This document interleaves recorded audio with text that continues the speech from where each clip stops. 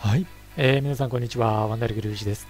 では今回は対抗立志伝5明智光秀プレイ続きをやっていきたいと思います。前回は北畠、えー、これをね、えー、攻略してきましたので一旦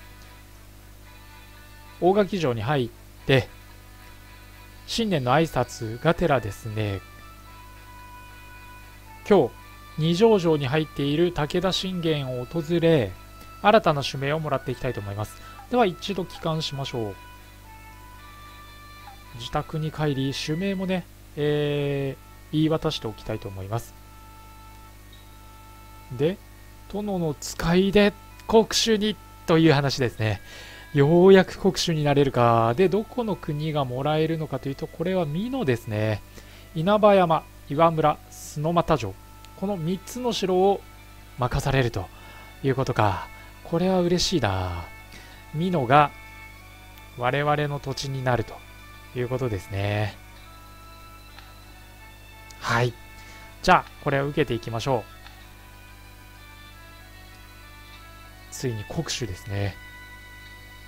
ここまでよくやってきました。まあ本拠地は稲葉山城後の岐阜城でいいかなと思います。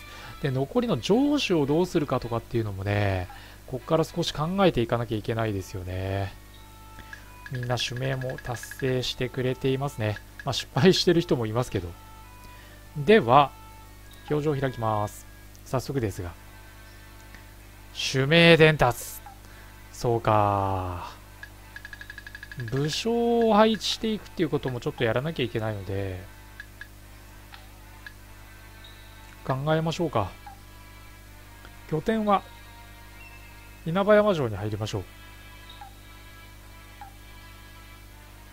拠点を稲葉山城に移します。では早速稲葉山城に移動しちゃいましょう。で自宅に入ります。で、まあ、診療所も一緒にセットで移動してきたんだなここでじゃあ改めて表情を、えー、申し渡していきます、では指名伝達主に修行関係と兵糧調達、え、さらに徴兵、え申し付けましたので一旦二条城に行って信玄の元を訪れましょう、まあ、国主に任じていただいたその挨拶ですね。大殿よりお言葉、うん、伊勢志摩国を攻略せよか。よし。では行きましょう、まあ、主名は今直接言ってくれればいいのになという気もするんですけどね言ってくれているので茶を振る舞って即刻戻り伊勢志摩攻略に行きましょう。で、それにあたっては一度体力の回復と、あとは、主命を達成して戻ってきてくれないと、武将がね、いないので、そこまで一旦時間を飛ばしていきましょう。はい。では、伊勢志摩攻略、残り1つなってますので、もうこれ、攻略しにかかりましょう。ただ、えっと、新年の挨拶、もう今25日、まさにクリスマスですね。なので、これをね、終えてからにしたいと思いますので、一度、そうだな、再び二条城に行ってからにしましょう。その後、伊勢志摩攻略に入ります。では、新年の挨拶を行っていきます。まずは、働きぶりだな。いやー、21万8000石貢いで増やしてますからね。その他の、えー、雪高、信重、信門、あとは内藤含め0戦石だからね。いや、いかに三井出が荒稼ぎしてくれているのか分かりますよね。よし。では、伊勢志摩攻略を行っていきたいと思いますので、一度城に戻って出陣の支度を整えます。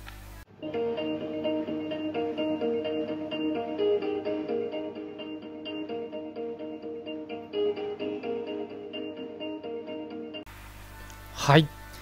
えー、伊勢島攻略完了してます。カズマスがだいぶ働いてくれましたね、今回は。これで、指名達成ですね、早くも。大殿よりお言葉。そうだよね。伊勢志摩の攻略はもうせずともよい。まあ、完了しましたからね。では、また、えっ、ー、と、休んだ後ですね、二条城の方に入りましょう。で、そこでまた、新しい指名をね、えー、申し受けたいと思います。では、二条城に入ります。信玄のもとに行きましょう。えー、指名の申し出。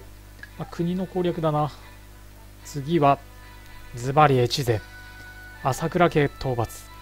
これを行っていきましょう。では、城に戻って越前討伐の準備を行っていきます。その前に石宅によって薬が少し減ってきているので、万能薬を、まあ、10コード買っときます。で、あとはですね、医術指示。せっかく来たので、おお、来たね。競争剤調合。中級知識ゲットしましたね。では、これで本当に戻って、しっかりと戦の準備を行っていきましょう。もうすぐに出陣します。自宅に戻って寝たらすぐに出陣。で、えっと、今回攻略したのが、まあ、本願寺のいる長島城。あ信玄の活龍寺城の攻略結構ずっと失敗してるね、見ていると。もうここに援軍を出してもいいっちゃいいんですけどね。長島城の取り扱いがどうなってる？信玄か。信玄の直轄になるよな。越前を攻略して、越前がね、まるまる自分のものになればいいんですけど、信玄に持ってかれるからな。果たしてこれがいいのかっていうのもありますよね。信玄ばっかりやたら、やたらとでかくなっていくっていうね、この状況。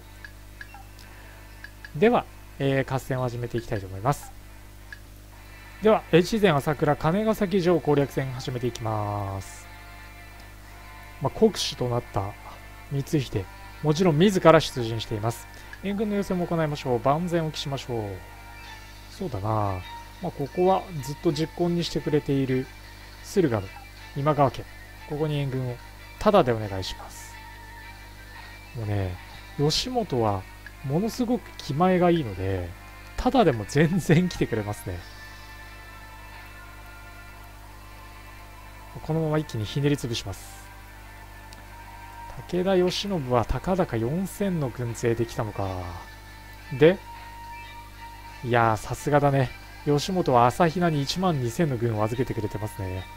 えー、降伏勧告に応じるということであれば、降伏してもらいます。よし。あっさりと金ヶ崎取りましたね。全く問題ない。戦となるとやっぱ数ます働くね。数ますの武君が圧倒的に高くなってる。じゃあ続いて一条谷まで一気になだれ込みましょう。援軍を送ってこなかったからね。敵は。ユースケ・サンタマリアのね、朝倉義信。まあ、いきなりキリンが来るの話をしちゃいましたけども、面白いですね。まあ、キリンが来る自体はね、えー、まあ、一旦放送を、まあ、中止するというか、休止するというか、まあ、そういう状況になるようですけどね。何ダメ元で起こった氏康からも援軍が来てくれる。特に何もしてない氏康が、ただで援軍を送ってくれましたね。で、朝倉義景は1万9000で立てこもってるのか。これ迎撃するのは大変そうだな。よし。氏康の軍がやってきてくれた。これ1万7000。でかいな。これなら、一条段に取れるかもしれない。援軍が来るかどうかですよね、あとは。敵に。来たなじゃあこれを撃破していきましょう。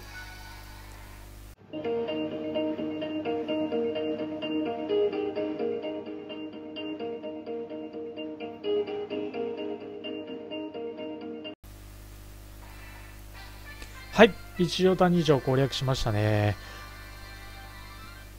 まあ、少し兵を失いましたので、ここは一旦戻りましょう。やっぱり数松だな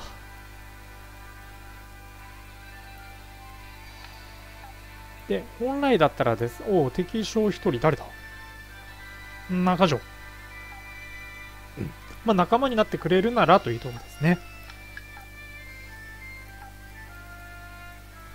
であれば、自害を許しましょう。まあ、戦闘中です。ここはさすがに死んでもらいましょう。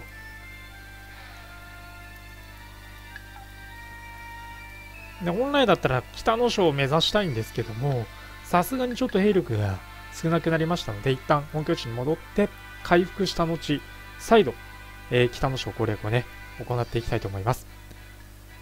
では一旦表情をして、え金と徴兵とを行って体力回復後再び出陣していきます。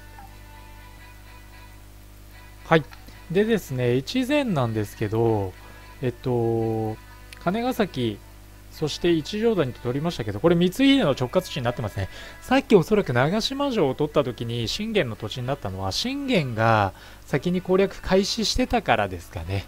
なので、遅れを取らないうちにですね、もう北の章まで一気に攻め込みましょう。なので、北の章に出陣して、越前をね、えー、三井伝のもとにして2カ国持ちの大大名に、えー、早速なっておきましょう。では、出陣していきます。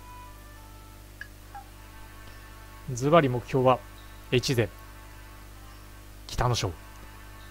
で、小松城まで行くと加賀になるので、まあ、加賀も取ってしまってもいいかなって感じはしますけどね。一気に。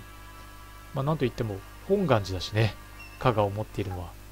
まあ、加賀は長く一向一揆のね、持っていた城だと言われてあ国だと言われてますけど、そこに入ったのが、利家ですね。では、一応二条城の信玄に兵の要請をしておきましょう。で信玄のところから何万か軍勢が出てきてくれるようであれば、まあ、吉本にまたタダで一応援軍の要請をしましょう。タダだからね。金がかかるってなると、まあいいかなって感じしますけど、タダなら援軍の要請を行う。吉本太っ腹だよなさすがよ。では、攻略戦始めていきます。吉影1万ですね。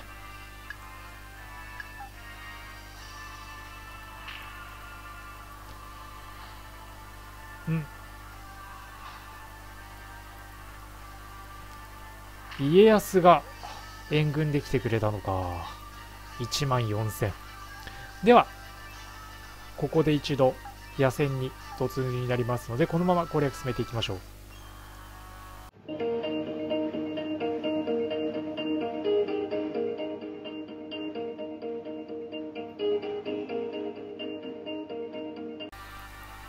はい。